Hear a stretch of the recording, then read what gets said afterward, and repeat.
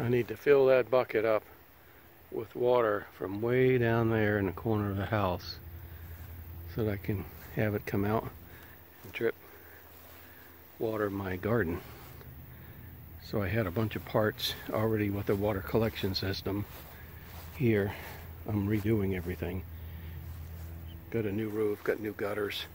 So we're going to rebuild that. In Texas, equipment for water collection is tax-free.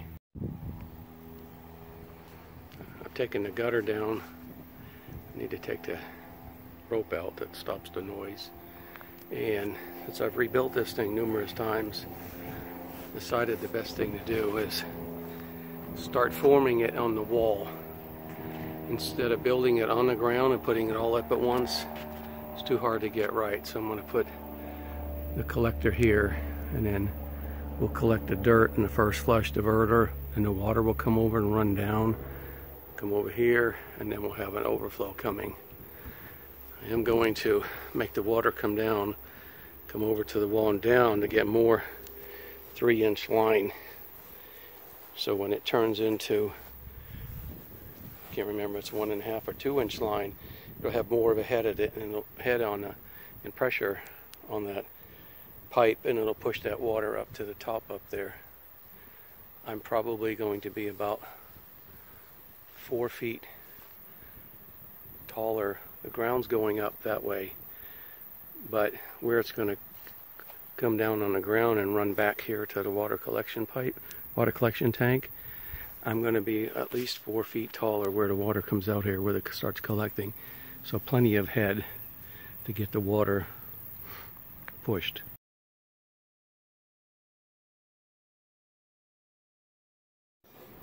This is the basic mechanism up by the gutter to trap the water. The gutter pours into here, and there's a little thing that makes the leaves the leaves fall off for the most part. And then there's a connection at the bottom of this to collect debris. And when that fills up, the water then overflows back into here. It'll come down here and run to the tank. If it gets if it goes too fast, then the water is going to come over here and come back down on the ground and flow out. I have a couple holes drilled. One's in the stone and one's part stone, part mortar. It's not flat across here. Otherwise I have to move it way down here and move it way down and bring down an extension. I don't want to mess with that. I want to leave the water entry into the system as high as possible. So we're going to mount this. By the way, I said I'm going to mount it, build it as I go, and then I'm going to take it down and prime it correctly and then paint it correctly. Try to keep the PVC from showing so much of its uh, white texture.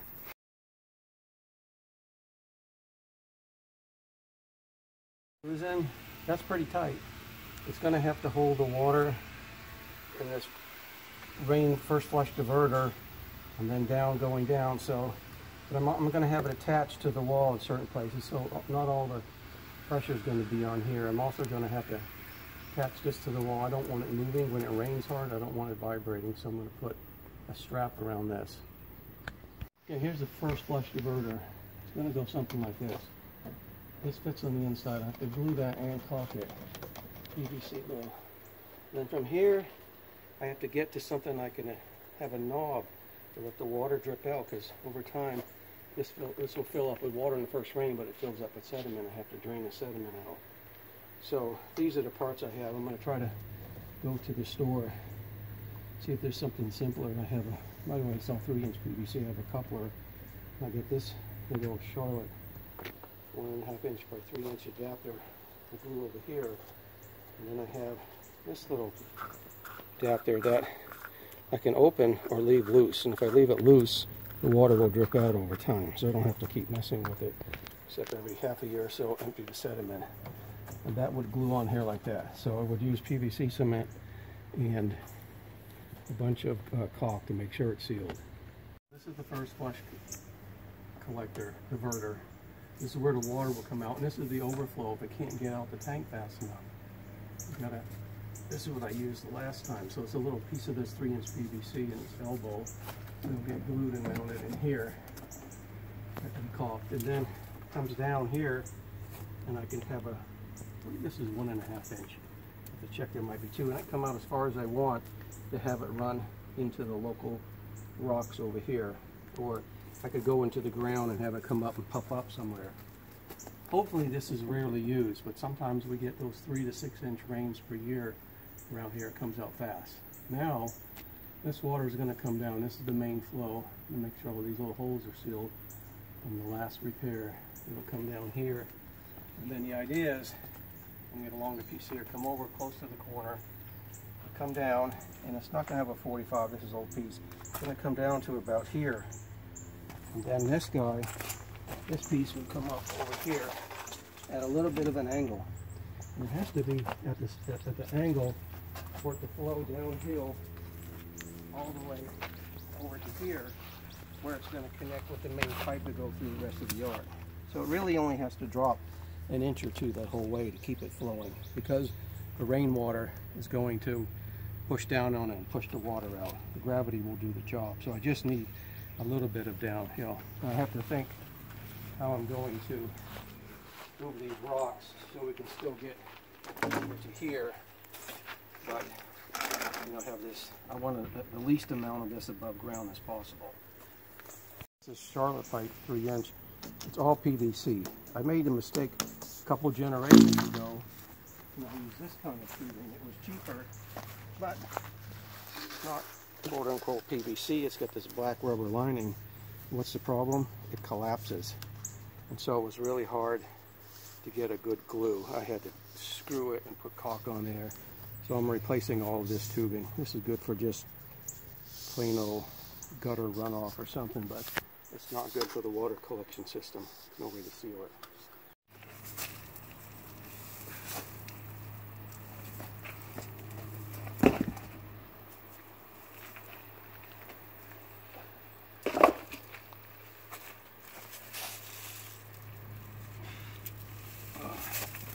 Bad boys are in there.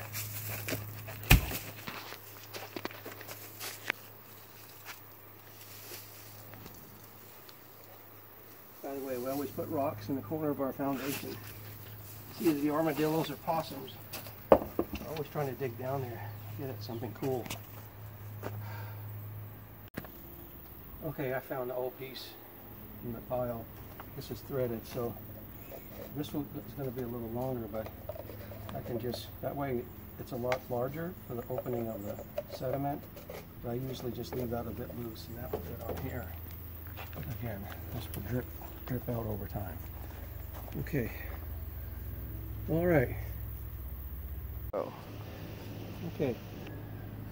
I think what I'm going to do here, I also forgot in the corner, there's an irrigation pipe for the beds. I could cap that off, but I don't want to cram everything in there and not be able to get to it. So I'm going to have this guy come down with two 45s and then come up over here with a 90 degree across. So then I have one or two feet, three, four, five, six, seven, eight, nine, ten, about 30 feet of three inch head pressure to pour in the two inch pipe. If you know about Bernoulli's principle, that's going to make that water go fast.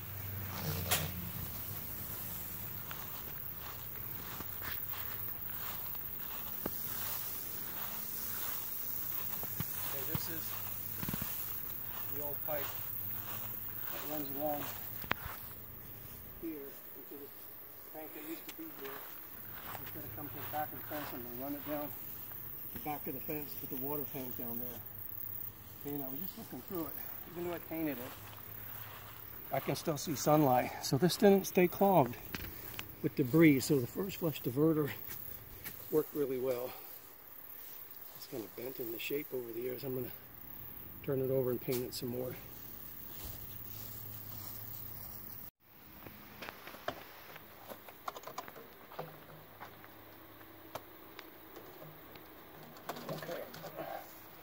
A bit frugal, so I just patched this together to uh, smaller pieces. I might put a whole piece here so they don't see the seam, but it's not that nice of a system.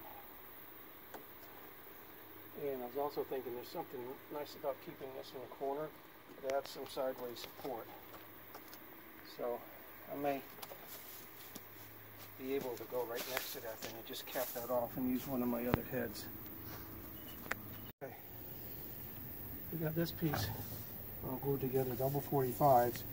Gives us a little more gradual run off of the wall so I'm not completely up against the wall and I can't get to my irrigation pipe. So we're going to do this one in here.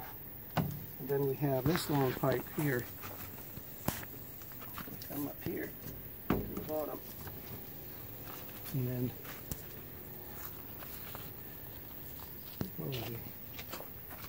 set this off some.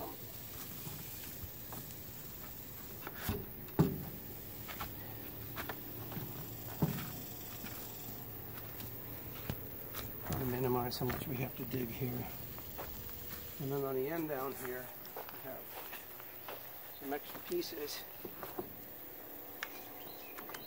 A coupling, and then just because of the size of the pipe, that'll match up with this pipe here.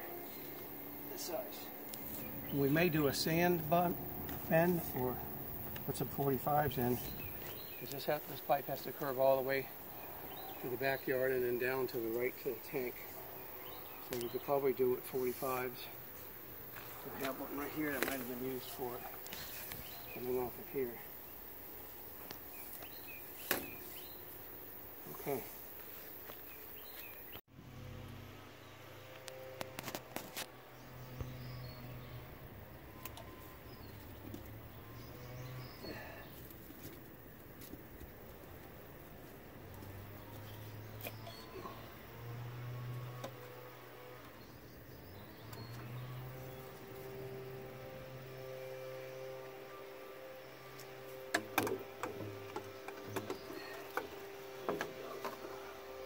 I like the feel of that glue going on.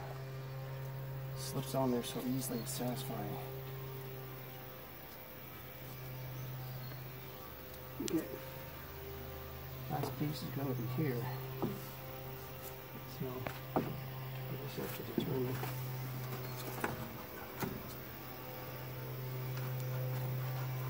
which direction we want to go from here. Maybe down like this. Which would push this guy.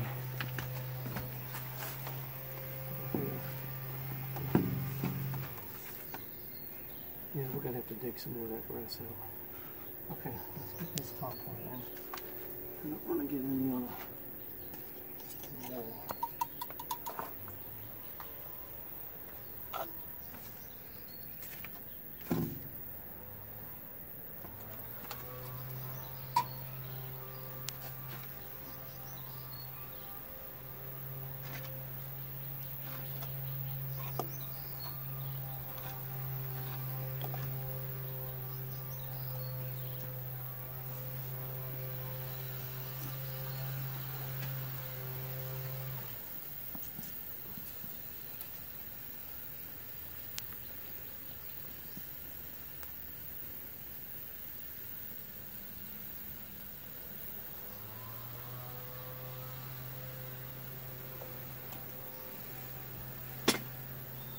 Okay.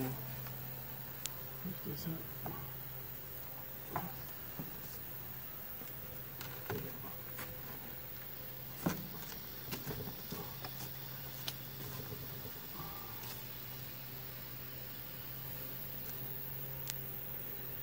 Hopefully it burns after a while.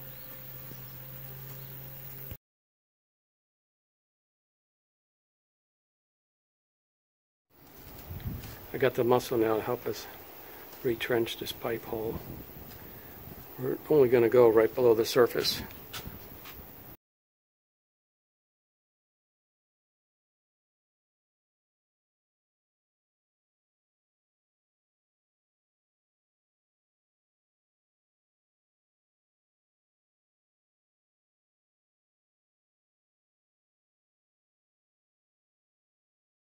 Okay. I'm gonna have a little bit of a drop, just a little bit, and I'm gonna drill a hole. and I'm gonna put some of this,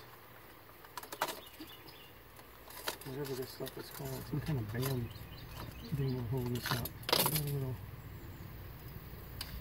insert.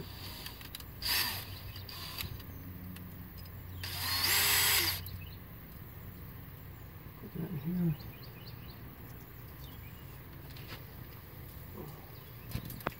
Only thing is this scratches the PVC when I paint it, so I may have to think of a different kind of material. But let's see what it looks like.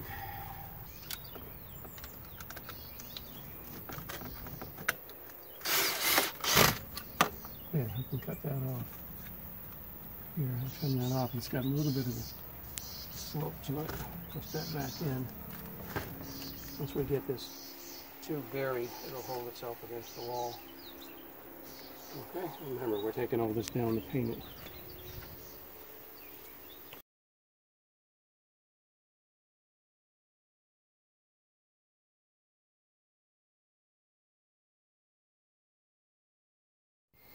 Okay, we got quite a bit dug out. You can see in the bottom of the foundation, we're going to put in about four or five inches of mulch.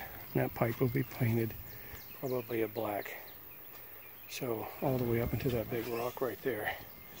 Mostly going to be submerged. So when we get to the grass line, we have to come down. And it's just sitting there. And you notice it still has a nice gentle slope. So at the low point in the whole water collection system is going to be here. And I am going to reduce it down to run to the tank, but I also have a little relief valve so the water can drain slowly over time when it's full. That's what the old one looked like. I had a little hose come off and I could fill up a galvanized bucket with water that was remaining in the line. It's not going to backflow from the tank. And so I think my low point was right here by this big rock. Um, version 3 used to be out here and that's where I want it again. I want it to come way out. And so I can make it go in the yard or just come flow down on the grass when I want to empty it. And I learned in February 2021 I need to empty this thing because a couple pieces cracked. There was water in them and they froze. I should have drained it all, but in any case I had to re-engineer it anyway. Okay, I got some tweaks because I can see the first flush diverter is a little crooked. I need to push it over that way. And that matters. Okay, coming along nicely. What we're going to do is we're going to assemble without the relief drain. We're going to assemble everything without glue in this smaller diameter pipe. We're going to run it all the way out to the backyard over here and then all the way down and just get ready for a trial run because it's supposed to start raining tomorrow. So this smaller pipe stays together pretty well. It's got a flange on the end. It doesn't come apart easily. And so I don't care if it drips a little bit. I just want to make sure the water will still flow. Well, here's what we finally decided upon after looking at three or four different approaches and trying to reuse pipes. Get the three inch. Got a connector sleeve going on here. Then I got this big coupling thing. Reduce it. Another reducer. And finally, this pipe I'm using is actually one and a quarter. Goes in there. And then there's a T here, and that's a threaded T. And I come out here with a little hose connection. I can connect that hose back to it, so that'll be can come up out of the ground with a, a little valve on the end of it, so I can turn the water on and off coming out of the ground when I want to drain it. So that'll be the low pipe, low pipe, low pipe, the low place in the pipe rather. Connects over, and there we go.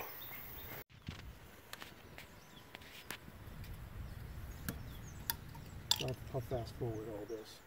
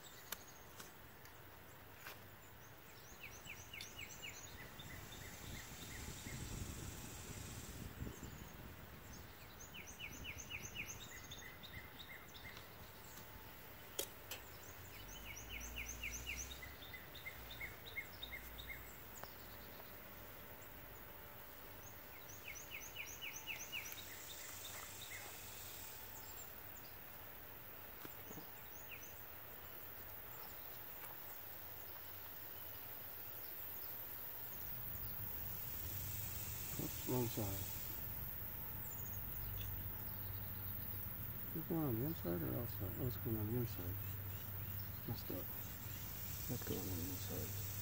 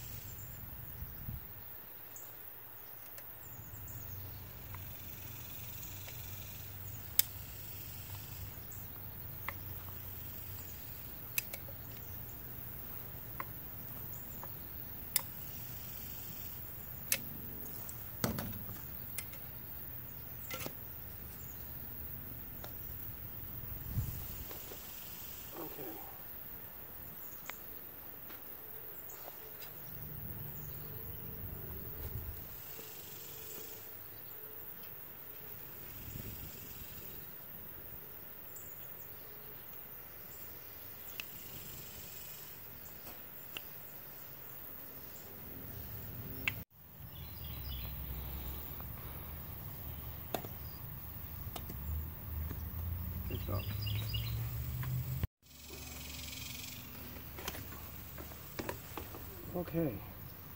This is all assembled.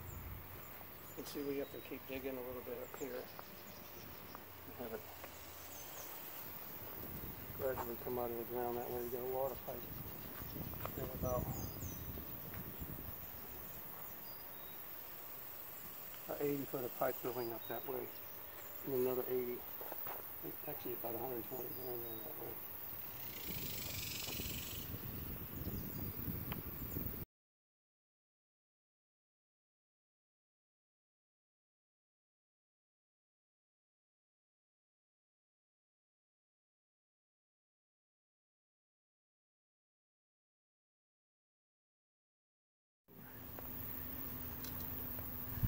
Okay, last thing we're going to do is connect pipes down to the tank, and then we'll call it a day.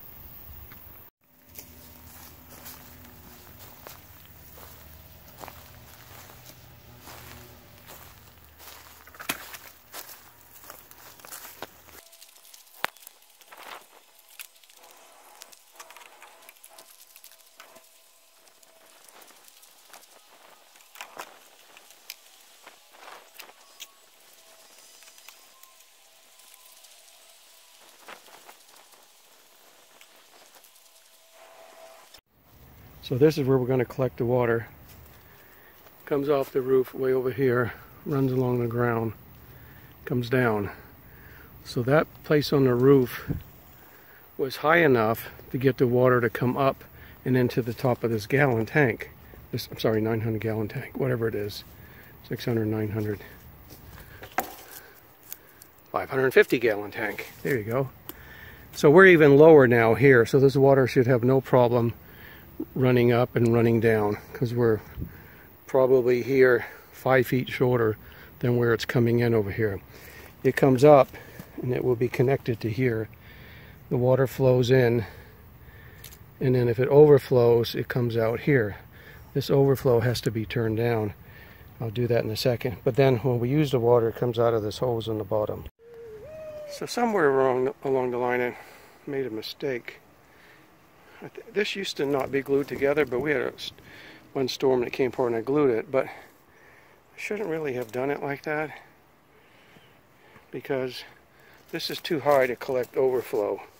It should be about here and then over. So I may have to cut this or I'm going to have to do something to make the overflow become lower. Yeah, so we'll figure that out later.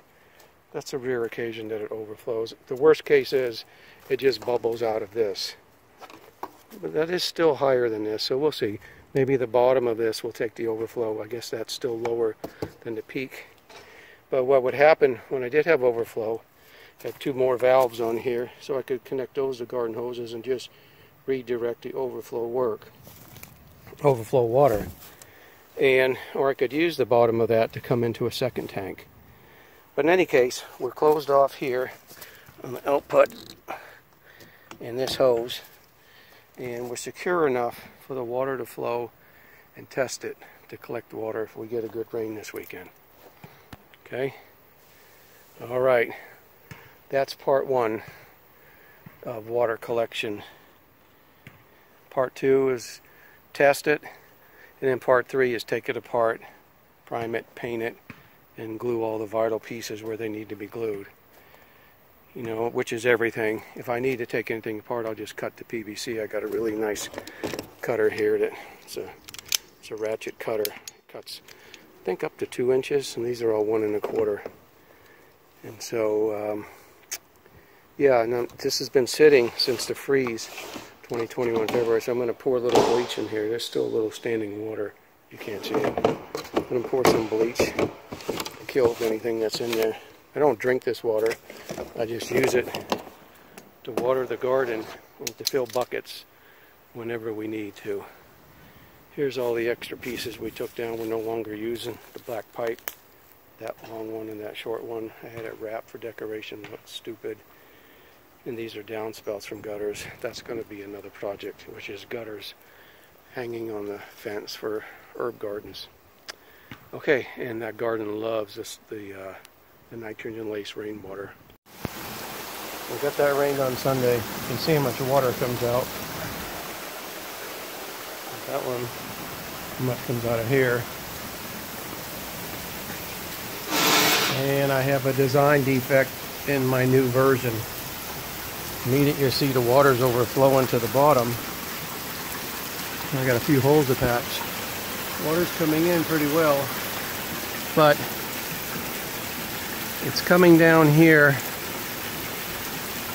going over, but it's there's a slow spot here, so it's immediately overflowing, so the water's backing up to here and coming down. So I think I'm going to have to drop this connection way down another three feet try to get it for a while there. It's, it's full now but this this white pump this white pipe was pulsing. The water was flowing through it. So I don't want to lose that much water. But you can see it pour it comes down and collects really well. These are six inch gutters back here. I don't mind it spraying off a little bit but that little leak is uh, just a hole I have to plug from the last build. But I'm going to have to make this come down either either bring it straight back down again and over or at least allow it to build up some water because it's I guess that's about eight inches it's already overflowing so it can't get through those turns fast enough but I may go get the umbrella to see if it's going into the pipe out, the tank outside. That's a lot of lost water. I don't hear any thunder, so I'm going to run over here, see if the water's making it down. It may have separated because of the force of the water. I haven't glued it all.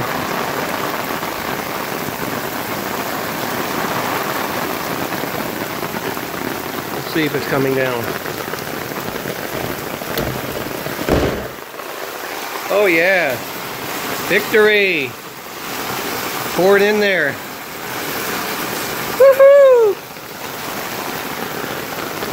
Thank you, Gravity.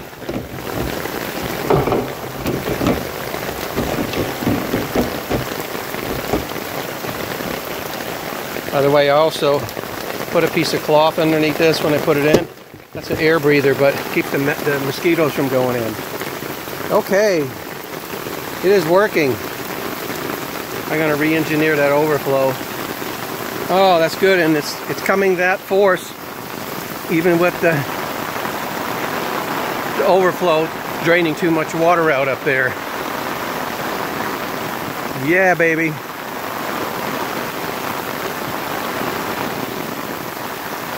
If I can figure out a way to run these lines off of here, you can see the water coming out. Make another tank.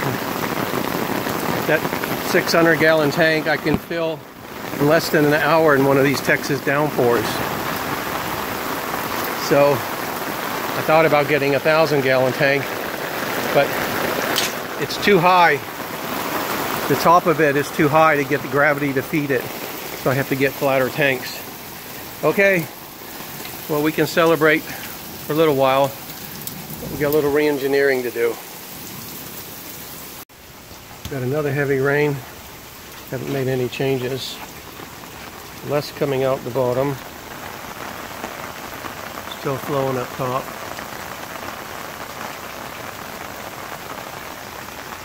Everything's stable, got a little drip going on where it's supposed to. Let's go check the tank.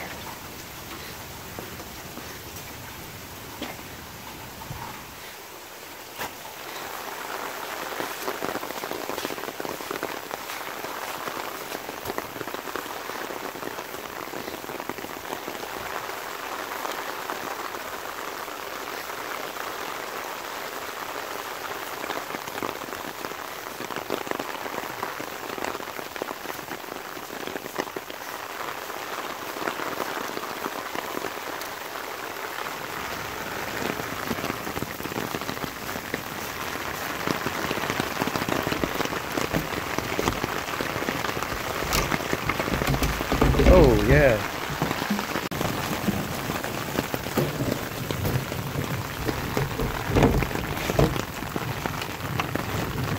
A little here. Plugs up the holes for mosquitoes. We've been out of town. There's another inch and a half of rain. It looks like water came out of the overflow. So if we look in here, this thing should be to the top. There it is. Time to start using it in the garden. Okay, let's pack that bad boy up. I hope to finish the water collection system today. This is my relief drain. that came off of the two inch with an adapter, an elbow, an adapter, elbow, and turned it into a hose connection. And then it has to be real low to get it to come out, so I'm going to put probably some hose way down here underground sticking up about a foot or two so I can fill buckets. So that'll be lo a lower point. And then on this main system, I changed the the horizontal right angle, put in some 45s, hopefully allow the water to flow better. And I've left the system open. See if you can see it. I left the system open right here. I can pull that apart and I've left it open down here and then I'll probably glue this but that way if I have to take this unit off the wall I can. I don't have to go in and start sawing. I made a cut here this morning. I'm gonna put some of this corrugated pipe around it just for looks because some of this will be sticking above the mulch line and it'll go down into the ground. Plus it just gives a another little level of protection from hammers and people walking on it. So I'm going to string that all the way down here, fill some dirt, put some mulch in here, and then I'll take, really I only have to paint from this area up.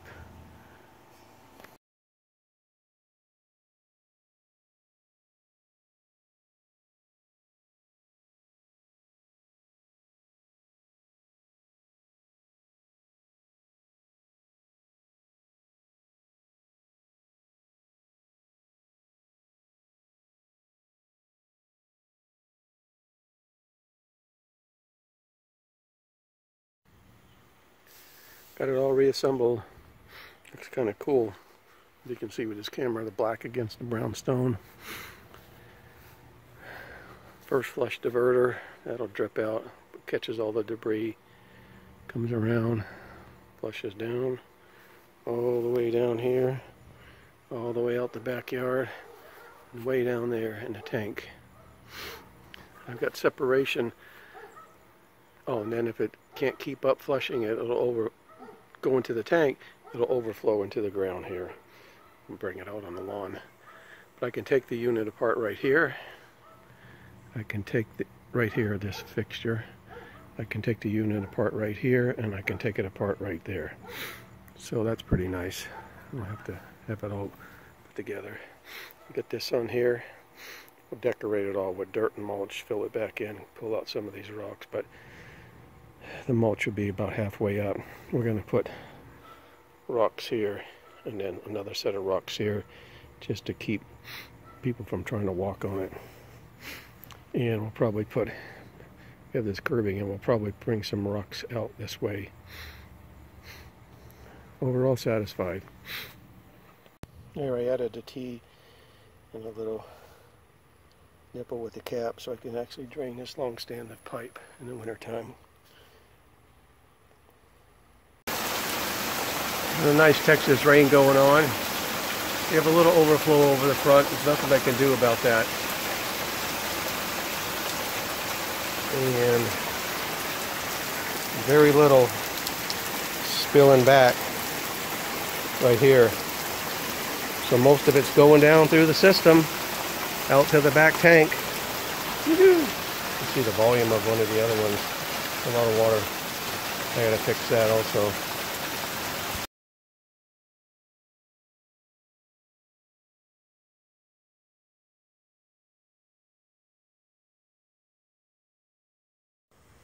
Here's the final product. I had to tighten up the little band here and add a little band to the wall down here. And I added a longer extension. I got to paint that little white adapter. When I put some big flagstone on either side, fill it with river gravel, river stone. And so the overflow will run right here. But comes out into the yard, maybe a foot or foot or so. I'll put a little mound of dirt, keep the mower from hitting it this will pack down over time. And I'm going to put I was going to put that over but I'm going to put a square box over this so I can get to the on off switch to drain it bury that. But in any case that's what it looks like. Nice black mulch around it. Satisfied. Water reclamation finished finally